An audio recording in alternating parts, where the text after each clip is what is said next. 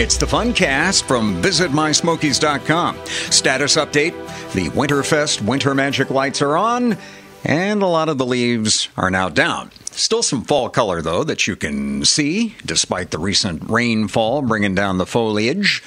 Got a very different kind of fall color update for you this time. The Tennessee Department of Tourism recently installed a high tech viewfinder at the Ober Gatlinburg ski area.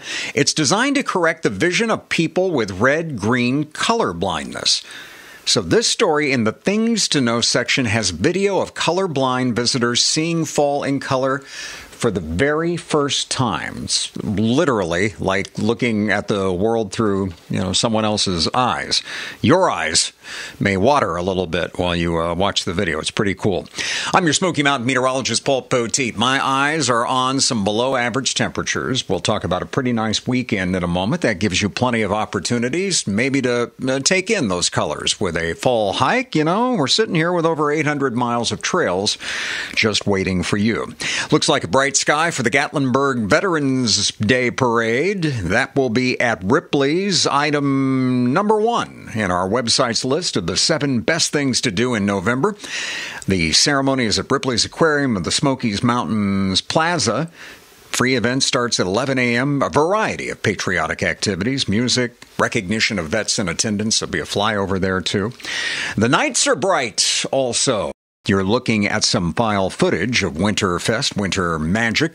Some people say the best way to see the displays is the trolley ride of lights. Five bucks a person, get a guided tour of the Christmas lights from the comfort of one of Gatlinburg's signature trolleys. You'll want to probably make your reservations ahead of this, one of the most popular things around in November. It's only five bucks. Kids under three are free if they sit on a parent's lap.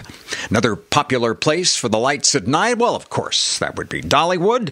Dollywood's Smoky Mountain Christmas, the parade of many colors, presented nightly whenever the park is open at 8:15. Beautiful floats, interactive characters. Dollywood also brings the classic It's a Wonderful Life to the Show Street Palace Theater.